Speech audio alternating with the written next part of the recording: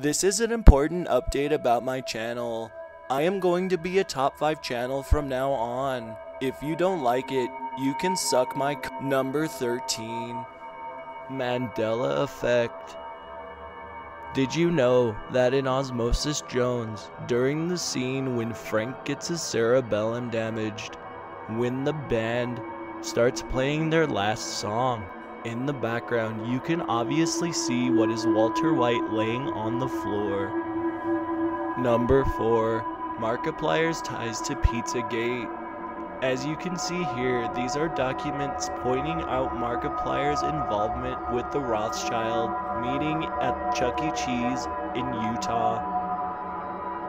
Here are some photos of Markiplier. Number 2. The Jump Creek Man. A YouTube user by the name of Spencer Dale Stowe, running KFAK TV, was experiencing anomalies on Google Earth. He was reported to have taken a trip to Jump Creek to find this ano- anomaly where it was reported where he disappeared.